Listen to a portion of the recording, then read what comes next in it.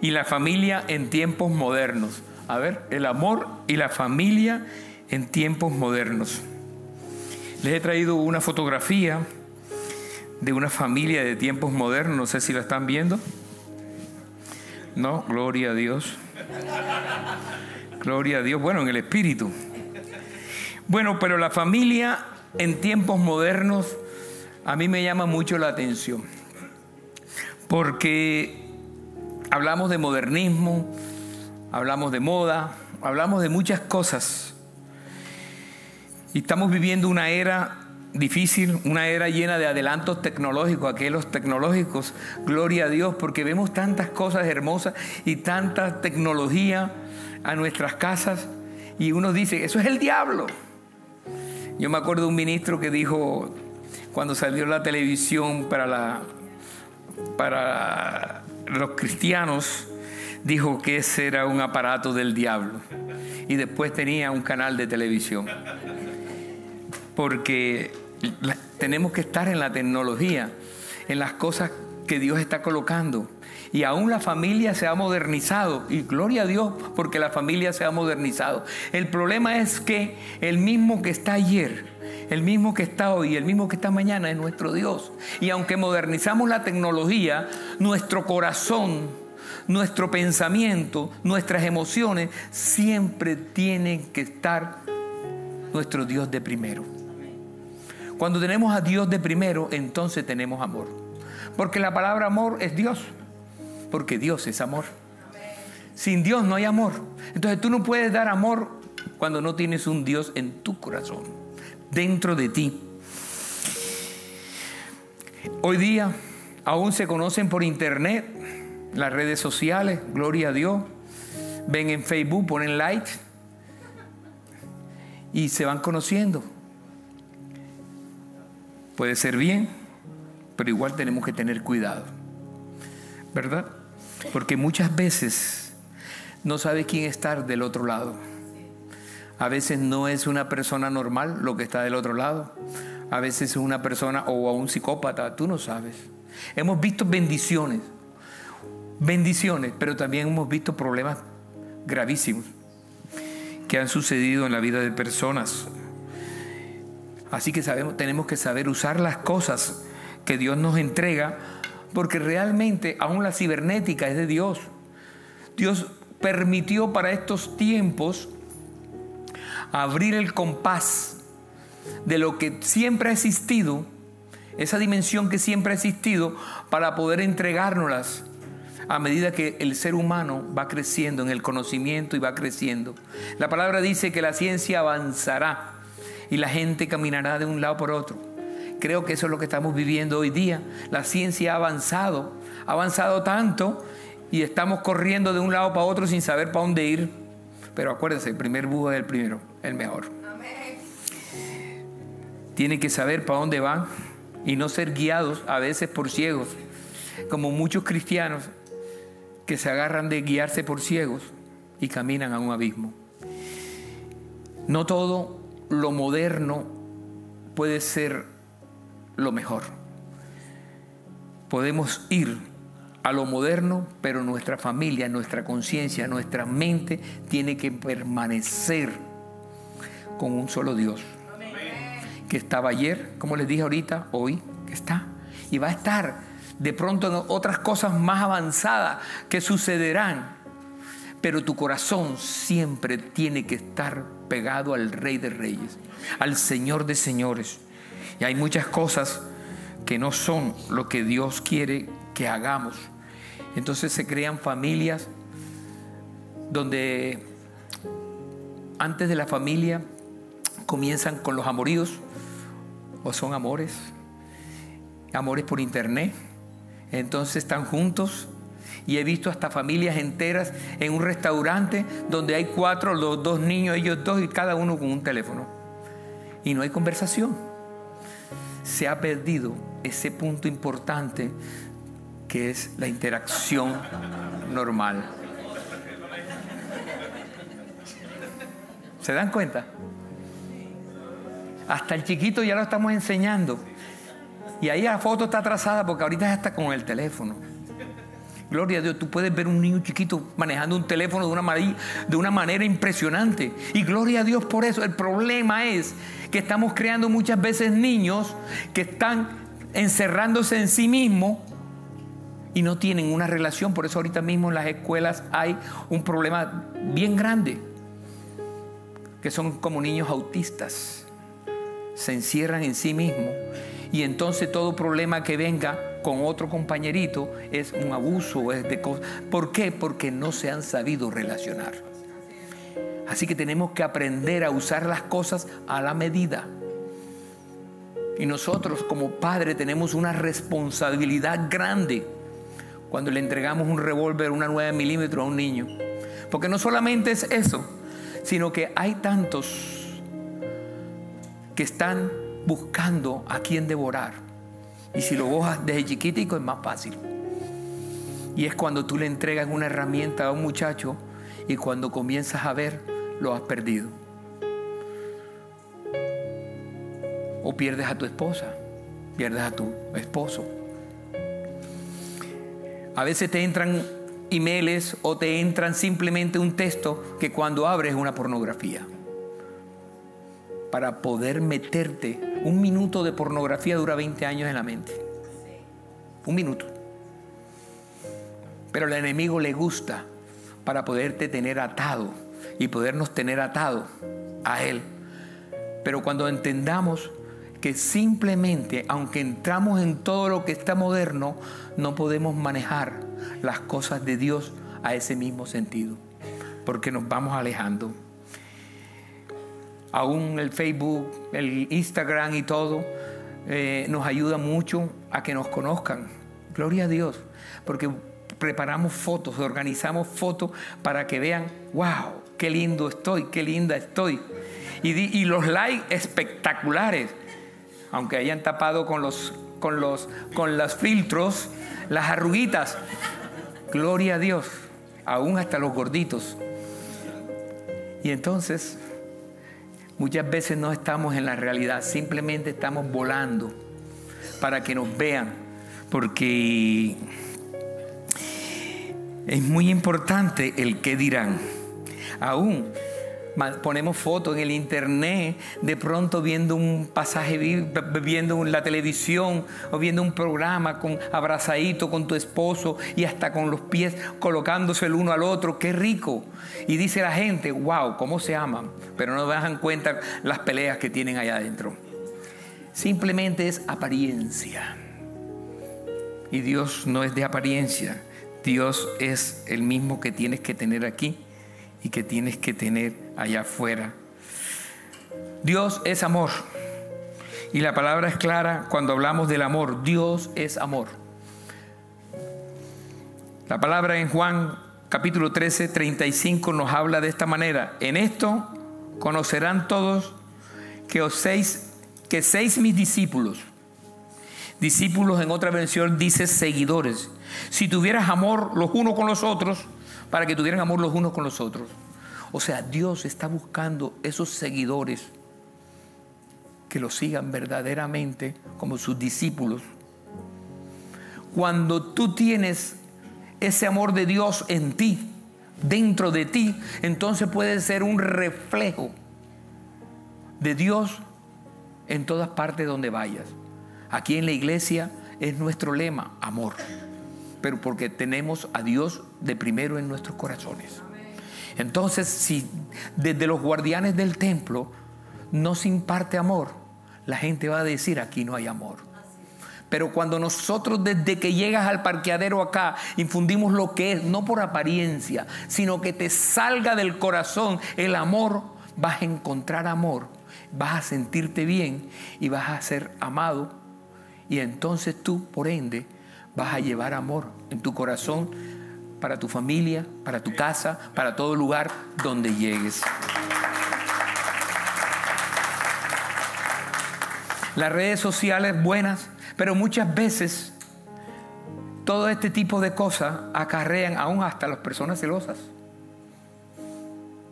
Cuando se meten en las redes sociales y comienzas a mirar el uno, la otra, y comienzas a crearte cosas que no están. Aquí no pasa, ¿verdad? Gloria a Dios. Porque comienzan y aún te comienza el amigo de dos días, de tres, de cien años. Comienzan y comienzan problemas. Tienes que ser dosificada en las cosas o dosificado en las cosas que haces. Porque el amor es el roce. El amor es el que se da. ¿O no te acuerdas cuando veías a aquella niña o aquel niño y ese cosito aquí te hacía de todo por esa persona que venía? Eso no lo vas a poder sentir en las redes sociales, ¿cierto? Eso hay que tener que dosificar las cosas. Saber que aunque estamos entrando en una época de la tecnología, nuestra familia tiene que estar acorde también con las cosas del reino. El concepto del amor es tan básico y simple que todo ser humano puede entenderlo sin importar el nivel de educación que tenga o de inteligencia que tenga. No es un mandamiento. No solamente es un mandamiento, es el que Dios dijo como un verdadero mandamiento. Amarás a tu prójimo, amarás a Dios sobre todas las cosas. Eso dice la palabra. Amarás a Dios sobre todas las cosas. Cuando tú dices amarás a Dios, cuando la palabra dice, Jesús dice, amarás a Dios, cuando le preguntaron y dijo, amarás a Dios sobre todas las cosas, tenemos que entender que Él va a ser el primero en nuestras vidas. Tenemos que entender que no hay cosa más importante que Él en nuestras vidas. Pero somos cristianos, entendemos esto. ¿Y cuántas veces nuestra boca dice te amo? Pero de la boca hacia afuera. No sientes. Pero cuando verdaderamente tienes a Dios, vas a sentirlo en tu ser, amar aún a tu enemigo, aún a las personas que hablan mal de ti Pastor, pero ¿cómo le voy a hablar a esa persona? ¿Cómo le voy a decir algo si está diciendo todo esto de mí? Bendícelo, hija, bendícelo. Porque cuando tú lo bendices, estás trayendo paz a tu corazón, estás trayendo tranquilidad a tu corazón y estás desatando a esa persona para que sea libre. Las escrituras explican y afirman que el amor es el mayor de la fe y de la esperanza. O sea, cuando las escrituras hablan que el amor es el mayor que la fe y la esperanza, podemos entender que es el mejor de todos, correcto, porque es Dios. Dice palabra en 1 de Corintios 13:13, 13, y ahora permanecerán en la fe, la esperanza, sin esperanza no hay nada, y el amor. Y de esos tres, la mayor el mayor de ellos es el amor. Eso dice la palabra. Cuando nosotros tenemos amor en nuestro corazón, cuando verdaderamente tenemos esa parte de Dios en nuestra vida, pase lo que pase, digan lo que digan, siempre estaremos pegados al bendito, pegados a nuestro Rey. Mateo capítulo 22, verso 36 al 40 nos dice, Maestro, ¿cuál es el gran mandamiento en la ley?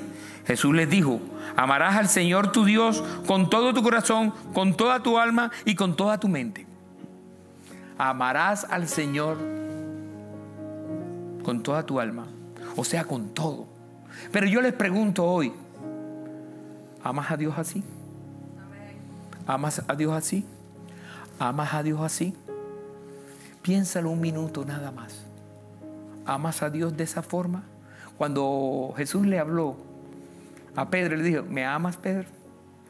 Le preguntó tres veces porque él sabía que tenía que reflexionarlo para entender lo que es el amor. Para entender este punto tan importante, porque muchas veces nada más está de aquí hacia afuera. Tenemos que entender que cuando tú amas a Dios, tú tienes que decir que Dios es primero que tu hijo. A ver, aquellos que tienen hijos chiquititos, que los aman. Yo amo a mi, a mi, a mi nietecita. Wow, que sí la amo. ¿Verdad? Cuando están chiquitos uno los quiere, yo no sé. Es algo espectacular. ¿Verdad? Pero preguntamos, ¿amas más a Dios? o amas más a tu nieta, a tu hijo o a tu hija o a tu esposo. Nada más estamos hablando del ser humano porque es lo más importante. Porque por amor al dinero también. Aquel rico le preguntó al Señor, si me amas, deja todo y sígueme. ¿Seremos capaces de hacer eso? ¿Dejar todo para seguirle a Dios? Yo te puedo decir que es espectacular. Es extraordinario. Pero surge todavía la pregunta, ¿amas a Dios? ¿Amas a Dios? ¿Amas a Dios? Un solo amén, gloria a Dios. Es una gran verdad. Pero el enemigo a través de los dardos y saetas bombardea nuestra mente para que viendo no veamos. Y para que oyendo no oigamos. Por eso estamos en nuestras congregaciones y en el mundo esa apatía a nuestro Dios. Porque el enemigo se encarga de distraer tu mente, de hacer tantas cosas para que pongas a Dios a un lado. Tú sabes que cuando amas a una persona, tú sabes que a tu esposa la tienes al lado, haga lo que hagas. ¿Verdad? Bueno. Tú sabes que tienes a tus hijos ahí, a tu mamá y cuántas veces llamas a tu mamá, a tu papá. ¿Una vez? ¿Cada mes? ¿O cada día? Todos los días. Gloria. ¿Cuántas veces llamas a tu, a tu, en el, a nuestro Dios? ¿Sí entiendes? Todos los días. No por religiosidad, sino por tenerlo ahí, sabiendo que si tú lo amas, lo buscas, lo encontrarás y te bendecirá. Que dice el Señor.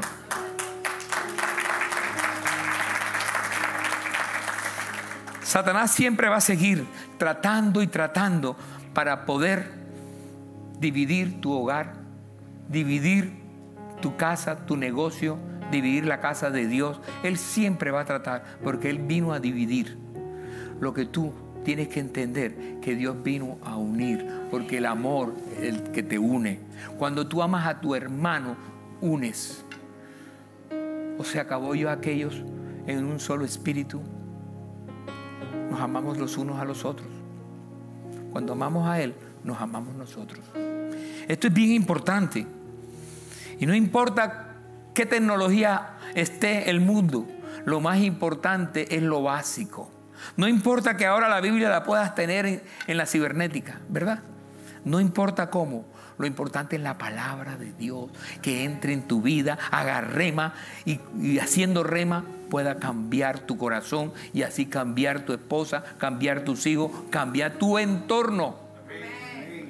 Eso simplemente lo hace la palabra.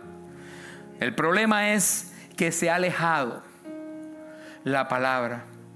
Porque la sociedad moderna o la familia moderna es la familia hecha por hombre. La familia de Dios es la familia hecha por Dios. Y tenemos que entender y escoger cuál es la familia que tú quieras. La moderna, hecha por hombre, o la de Dios. La que Él nos mandó en las escrituras que hiciéramos. Y ese es el problema grande. Porque se ha alejado el amor de Dios. Y al alejarse al amor de Dios, la gente no lo busca, no lo encuentra, no lo entiende. Días pasados les contaba que al mismo pueblo de Israel un pueblo bendecido de Dios, un pueblo que Dios creó para, para que lo adorara permanentemente, fueron bendecidos. Los judíos son bendecidos donde vayan, pero han sido también marginados, maltratados por su mala cabeza. Cuando estaban en la cima, vinieron los asirios y se los llevaron porque se les olvidó el primer amor aquel que dijo Josué, yo en mi casa serviremos a Jehová. ¿Te acuerdas? Cuando decías, yo en mi casa serviremos a Jehová, pero quieres abrir la casa para ser la extensión del reino. Yo en mi casa serviremos a Jehová. Pastor, lo que pasa es que tengo la alfombra sucia. Pastor, pastor, pastor. Yo en mi casa serviremos a Jehová. Es tremendo. Todo lo decimos de boca, pero tenemos que actuar. El amor es mucho decir amor, amor, te amo, pero es hecho lo que quiere Dios, como es hecho lo que quiere tu esposa o tu esposo, o tus hijos, o tus seres queridos. Son hechos lo más importante, no palabras. Las palabras se las lleva el viento. Pero ese primer amor se ha alejado del mundo, porque el mundo ahora, la familia moderna, el amor moderno, simplemente es hecho por hombre de una manera así. Nos amamos, ok. Nos encontramos, ok. Nos juntamos, ok. Tenemos sexo, ok. Sí, así es. ¿Y dónde está Dios? Esa es la familia moderna. Nos juntamos. No hay un Dios ahí, ¿verdad? Esa es la familia moderna. Esa es la que el enemigo quiere formar para estos tiempos sin Dios. Por eso Apocalipsis 2.4, y me llama la atención que está en Apocalipsis, el último libro, el libro de revelaciones de Dios. Pero tengo contra ti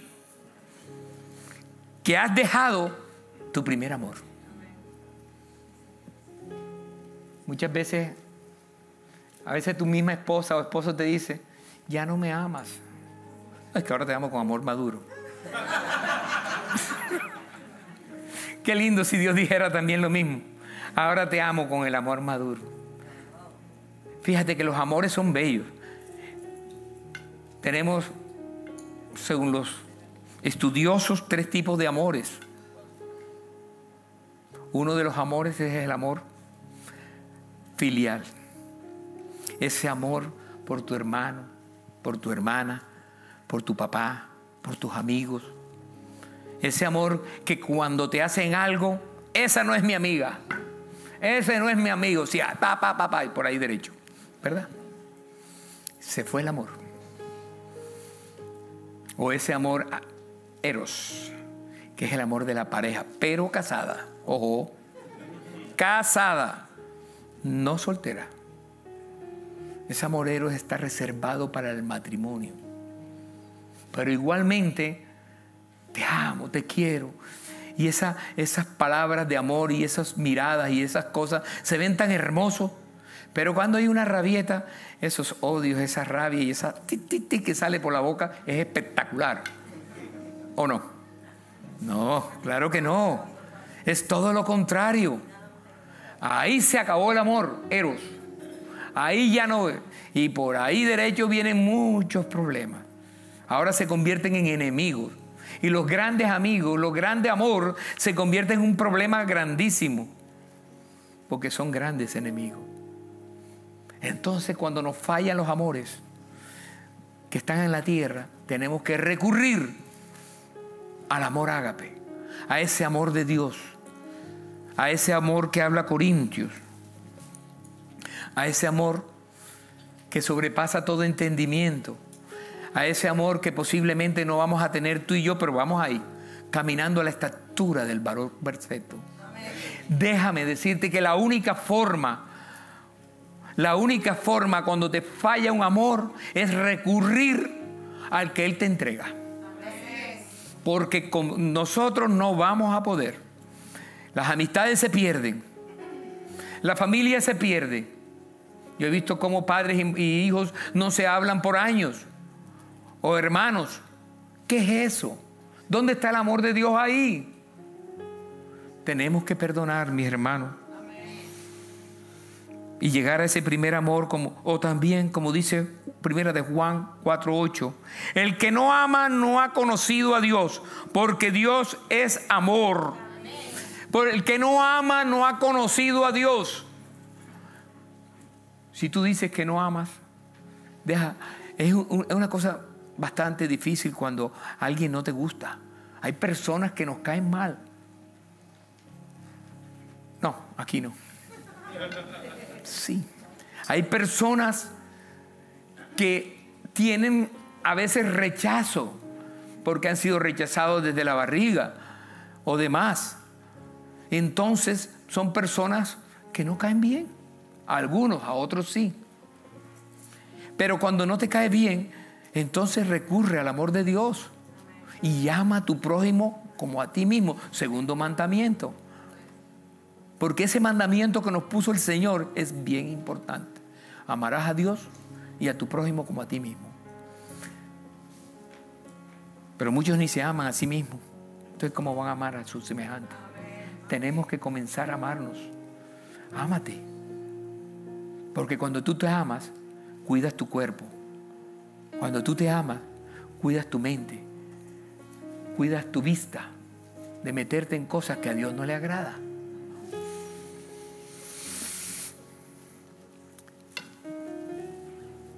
Hay una pregunta, ¿qué hago cuando me cuesta amar a alguien? ¿Y qué dice la Biblia sobre el amor? Dos preguntas interesantes. Porque muchas veces nos cuesta, ¿verdad? Entonces, ya saben la respuesta. La respuesta es fácil. Agarrar de la fuente.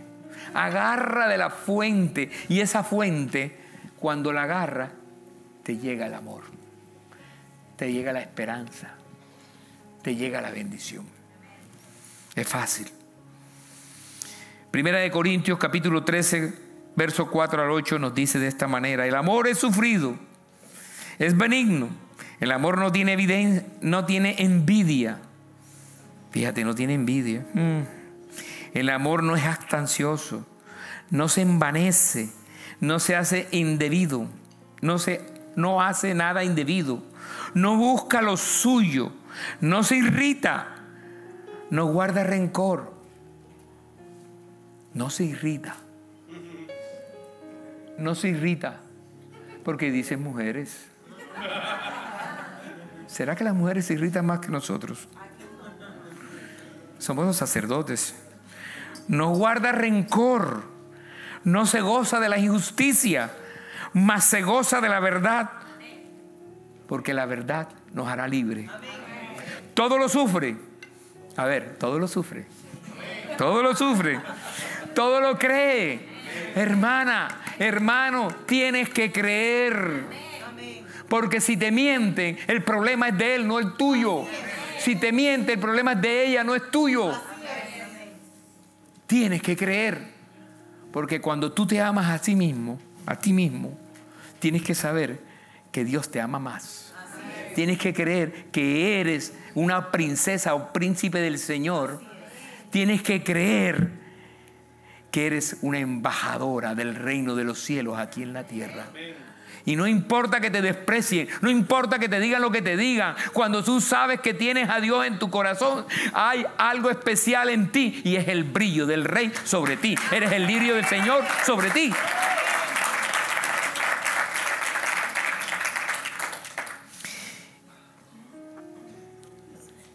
La palabra nos dice, no tiene en Juan 15, 13, no, nadie tiene mayor amor que este, que uno ponga su vida por sus amigos. ¿La pones? ¿Lo pones? ¿Pones tu vida por tus amigos? Esto es una palabra bien importante, porque muchas veces lo decimos de boca, pero no lo hacemos. Defender a un amigo cuando no está. Tú tienes que defenderlo, si es tu amigo de verdad. Todos cometemos errores. Coge a tu amigo, luego, pero defiéndelo para que el nombre de tu amigo quede bien siempre. La lengua es algo poderosa. Les decía los otros días y te lo digo hoy. Cuando la lengua venga a tus oídos, límpiatela para que no te entre. Porque esa lengua va a dañar tu corazón. Y al dañar tu corazón, comienza a envenenarte y comienzas a creer lo que no existe. Y a dañar tu vida. El enemigo lo que quiere es dañar tu vida. Porque la otra persona sigue igual. Tienes que entender que el enemigo está detrás de tu corazón porque Él está detrás de tu corazón para poder envenenarte, para poder dañarte y para poder tenerte bajo sus pies y es lo contrario, Él está bajo nuestros pies. Gloria a Dios.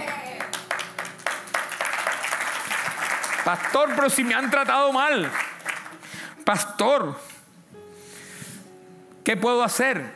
Si me insultan, si me dicen. Él te dice que pongas la otra mejilla. Mejilla. Eso es lo que quieres hacer. Pero cuando te niegas a ti mismo, cuando comienzas a decir no, y decirle sí al rey, algo especial va a suceder y va a abrir el Señor dentro de tu corazón, va a entrar, va a romperlo y te va a hacer bendición. Porque has podido pasar la prueba. Mateo capítulo 5, 44 y 45 en Reina Valera nos dice, pero yo os digo, amad a vuestros enemigos. Wow.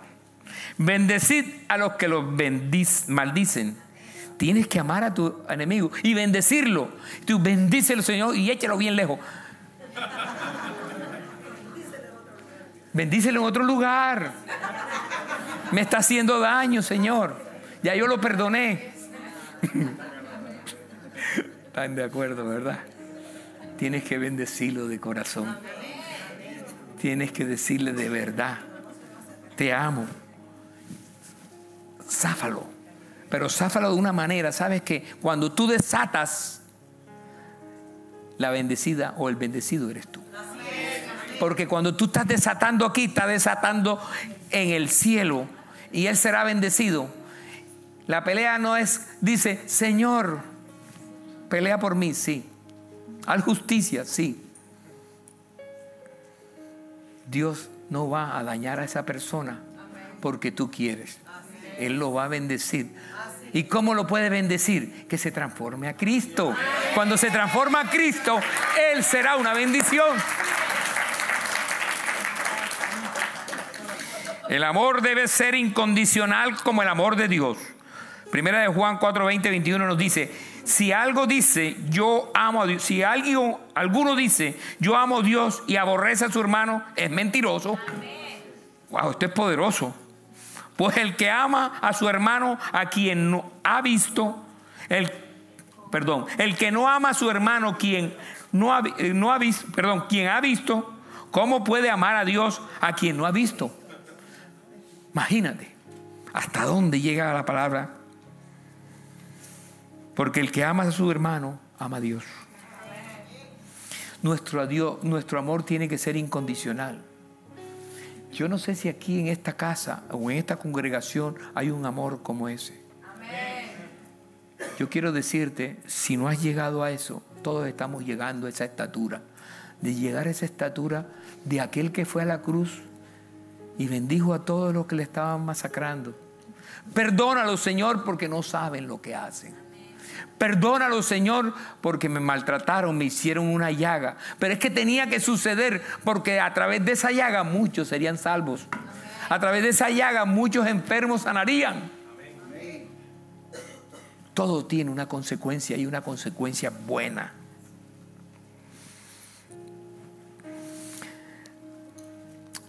Hay cosas poderosas como está en 1 Corintios 13, 13, y ahora permanezcan la fe, la esperanza y el amor, y estos tres, el mayor es el amor. ¿Por qué el Señor dice esto? Ahorita le decía porque el primero es amor, porque sin esto es imposible adorar a Dios. Sin esto no hay no hay amor. Si no tienes esto en tu corazón, no tienes esperanza.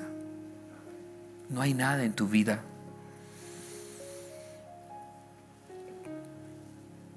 Muchas veces las familias modernas han dejado este primer amor porque prefieren simplemente seguir sus propios mandatos, seguir sus propias maneras de pensar, cuando Dios todo nos lo dejó escrito para poder tener una familia moderna, pero una familia modelo de Dios. Modelo de Dios. Cuando el modelo de Dios está con nosotros, no importa lo que hagas, siempre vamos caminando a esa estatura. Isaías capítulo 5, 20 al 21 nos dice de esta manera, 20 al 21. Y cópienlo porque es bien importante. En la nueva traducción viviente nos dice así, contra los que engañan. 20. ¿Qué mal les va, qué mal les va a ir a ustedes? Me gusta esta versión. Dicen que lo malo es bueno y que las tinieblas son luz. También dicen que lo amargo es dulce. Ay, ay, ay. Y contra los creídos, ¿qué mal les va a ir a ustedes? Ay, ay, ay. Se creen muy sabios y muy inteligentes. Pero hay alguien que está por encima de todo. ¿Por qué dice el Señor estas palabras? Porque Él sabía que iba a venir lo moderno. Él sabía que iba a venir las generaciones con otras cosas. Acuérdate que todo está en las manos de Él. Y no se mueve un dedo, no se mueve un pelito sin que Él lo sepa. So ya Él sabe por adelantado lo que va a pasar. Y sabe lo que iba a suceder. Y sabe que el hombre iba a aprender más. Se iba a abrir la cibernética, se iba a abrir la literatura, se iba a abrir más y más entonces, entre más se abre el conocimiento, más se alejan de Dios. ¿Por qué más se alejan de Dios? Porque ahora quieren ser Dios chiquitos. Y el único Dios verdadero es el que está ahí arriba. No hay Dios pequeños.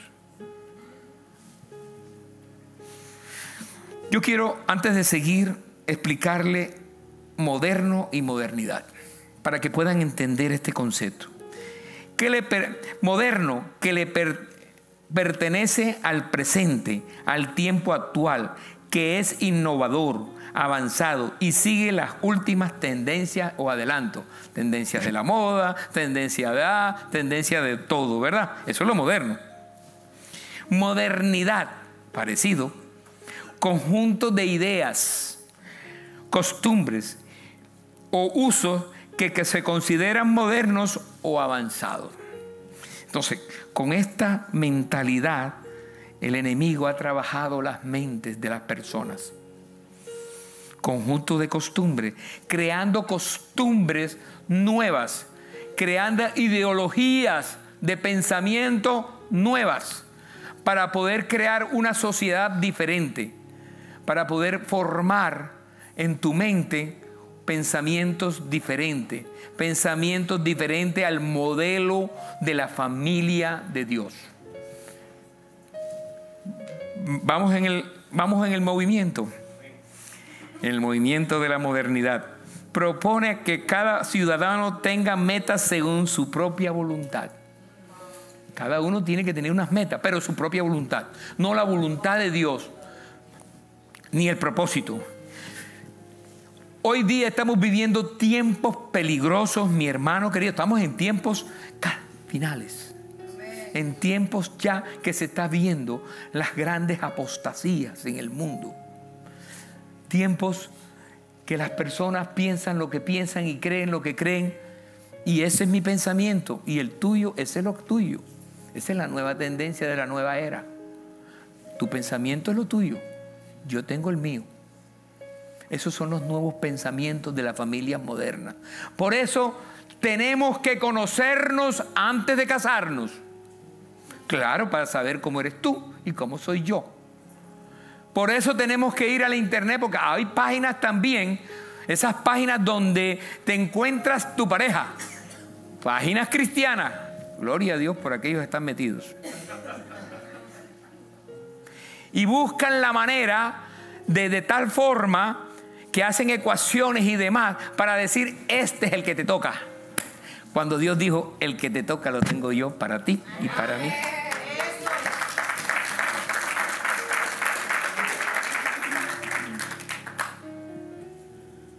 Abraham quiso lo suyo. Dios le dijo, vas a tener un hijo. Tenga la edad que tenga, vas a tenerlo. Hay que creer en Dios, mi hermano querido. Hay que creerlo. Y si Dios te dijo, vas a tener tu esposo o tu esposa, lo vas a tener. Pero Abraham quiso lo suyo y buscó una concubina, una chamaquita más jovencita que la de 90 que tenía al lado. No la buscó de 100, la buscó más pequeña. Ah, no era ningún bobo, ¿cierto? Lógico, rápido quedó embarazada, porque la otra era estéril. Pero aún en medio de la esterilidad, Dios puede hablar y puede hacer un milagro. No te adelantes al momento de Dios. Todo está bajo su control. Si te adelantas, lo puedes hacer y vas a tener una bendición transitoria posiblemente. Y si no, la misericordia de Dios, gloria a Dios. La familia moderna, es decir, una familia que vive bajo conceptos, costumbres avanzadas e innovadoras. Lamentablemente o lastimosamente, la idea de la familia moderna está regida bajo las ideas de personas las que menciona el versículo como el cual hemos comenzado en el día de hoy. ¿Se acuerdan? Personas que llaman a lo bueno malo y a lo malo bueno. Es decir, personas que ven con menosprecio el modelo de la familia de nuestro Dios. ¿Por qué? Porque ahora es real. Unámonos y después nos casamos. Eso es modelo de Dios, ¿verdad? Ah, es modelo del diablo, modelo de tu persona, de querer hacer como Dios, de querer ir más arriba de lo que designios de Dios hacen. Se unen viven y luego se casan o nunca se casan porque nunca se han conocido, según ellos. La familia moderna está formada por parejas que, que conviven pero no están unidas en matrimonio, lo que les decía hoy.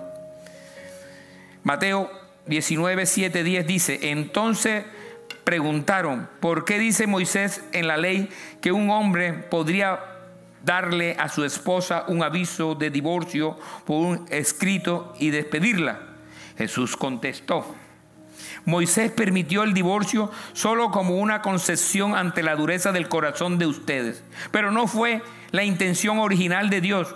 Y les digo lo siguiente, el que se divorcia de su esposa y se casa con otra comete adulterio, menos que la, a menos que la esposa ha sido infiel. Entonces los discípulos le dijeron, si así es, son las cosas, será mejor no casarse. ¡Wow! Se fueron muy arriba, ¿cierto? al que haya esposa, haya bien, dice la palabra. ¿Sí o no? Y déjame decirte, sí, pero cuando es repudiado la persona, tiene derecho por la dureza del corazón del hombre. Entonces los permitió. Hebreos 13:14 dice, honrarán el matrimonio y los casados manténgase fieles el uno del otro. Con toda seguridad, con toda seguridad, con toda seguridad. Dios juzgará a los que cometen inmoralidades sexuales y a los que cometen adulterio. Esto lo dice el Señor. Porque el matrimonio es un estado honroso instituido por Dios y santificado por la presencia de nuestro Señor en las bodas de Canaán de Galilea. Eso lo decimos cada vez que casamos. En las Sagradas Escrituras se lee que es honroso en todo el matrimonio y se consagra como el símbolo de la unión mística entre Cristo y la iglesia del Señor. Dos, la familia moderna no considera al matrimonio para toda la vida. Esto es desechable. Hoy te amo, mañana no como hay internet, hay demás, bye bye, y sigue el otro o la otra. Gloria a Dios. Entonces tenemos 10 matrimonios, 8 matrimonios, 9 matrimonios. No se ven los artistas. Esos son los ejemplos.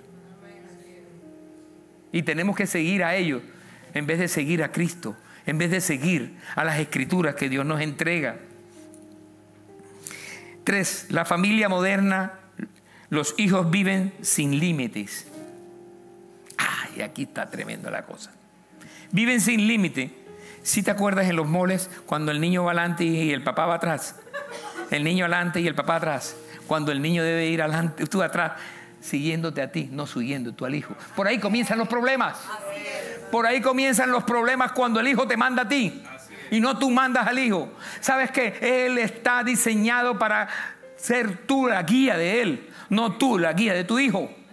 Y ahí vienen los problemas cuando tú no te sabes respetar en tu casa, cuando en la casa no hay una persona, una figura, una autoridad para entender lo que debe hacer cada persona. El problema es que si tú no corrijas a tu hijo, se lo corrigen allá afuera. Las autoridades. Efesios dice, padres, no hagan enojar a sus hijos en la forma que lo tratan. Más bien, críenlos con la disciplina y la instrucción que proviene del Señor. Y hay más. Tenemos que entender que los hijos son nuestra herencia. La virginidad, por último. Primera de Corintios 6, 18. Huyan del pecado sexual. Ninguno ningún otro pecado afecta tanto el cuerpo como este, porque la inmoralidad sexual es un pecado contra su propio cuerpo.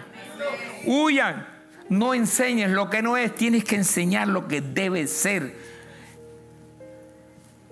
El respeto a su propio cuerpo. Primera de Corintios 6, 19, 20 dice, no se dan cuenta que su cuerpo es templo del Espíritu Santo, quien vive en ustedes y, y les es dado por Dios. Ustedes no se pertenecen en sí mismos porque Dios los compró a un alto precio. Por lo tanto, honren a Dios con su cuerpo. Así que jóvenes, ¿Cómo puedes tú honrar a Dios con tu cuerpo? Poniéndote tatuajes, poniéndote aretes, poniéndote aretes por aquí, por acá, por acá, por por todos lados. Ahora, pregúntale lo que dice Dios en su palabra. ¿Me honras de esa manera? Déjame decirte que aún en iglesias hoy día se está dando eso. Aquí en el púlpito. Porque están fomentando lo que no es de Dios. Tú debes honrar a Dios con tu corazón, con tu cuerpo, con tu mente, con todo. Ahora pregúntate. ¿Es así como lo quieres honrar? La palabra en 1 Corintios 10, 31 dice, así que sea que coman o beban o cualquier otra cosa que hagan, hágalo todo, hágalo todo para la gloria de Dios. Entonces lo que hagas tiene que tener la gloria de Dios. Si no glorifica a Dios, no lo hagas. Pónganse en pie. Vamos a orar.